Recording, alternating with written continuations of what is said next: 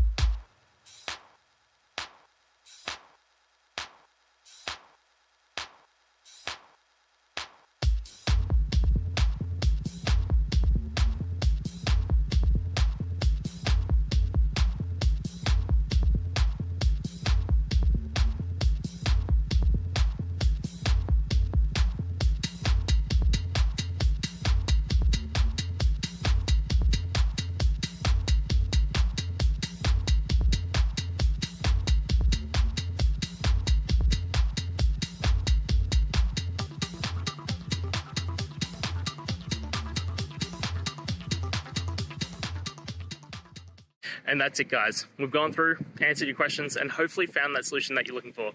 If we did, please hit subscribe. I'd really appreciate it. And until the next time you need technical help, I hope you have a good one.